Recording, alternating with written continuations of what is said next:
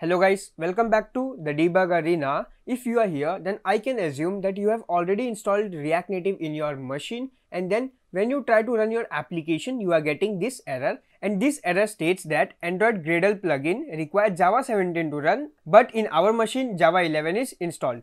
So in this video, I will show two ways in which we can solve this issue. Both the ways should work for everybody. Now the first step is that we have to install the JDK 17. For that, I will go to Chrome here I will search for JDK 17 downloads for window, click on the first link, then I will scroll down and I will go to Windows and here I will click on this link, it will install the installer.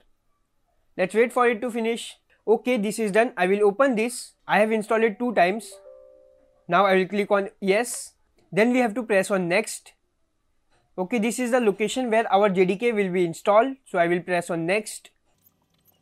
And it is done. Now I will press on this close after this, we have to open our environment variable. So I will go to my windows and search for environment variable. Just open this. Then we will click on this environment variables. And here we have to go to this Java home and you can see this is the part to our JDK 11. So we have to change that. So I will click on edit. Then I will open my file explorer and I will go to C, program files. And here I will go to Java and here I can find this JDK 17. So I will go inside this, I will copy this path. Again I will go to my environment variables and here instead of this location I will paste that. Click on OK.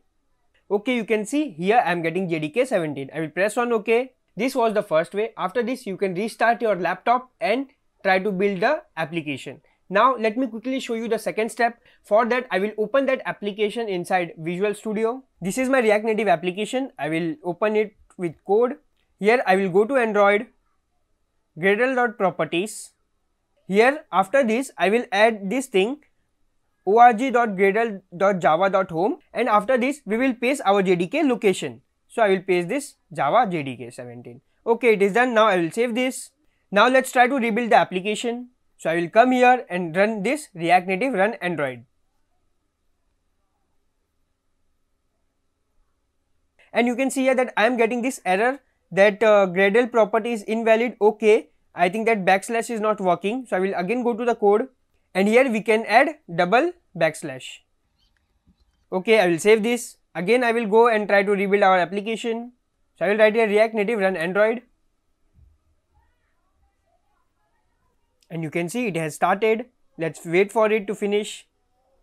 Till then you can see that this is my emulator and this is the application which I am currently building on React Native. So if you also want to learn React Native from scratch along with Node.js and MongoDB, then you can follow my playlist in which I am trying to make this application where user can do login, registration, user can get the details, admin can also register, admin will see the user's detail and many much more. So you can go and follow that playlist and you can see here that my application build is successful and my application has been started. Just one more thing, first try to solve the issue with the first way which I have shown because if you follow the second way then whenever you build your application you have to add this variable each time for each and every application. So the better way is that you should edit your Java home there and restart your laptop and your build will be successful. And still if you are facing the issue then please let me know in comments. I will try to solve this. Thank you for watching the video.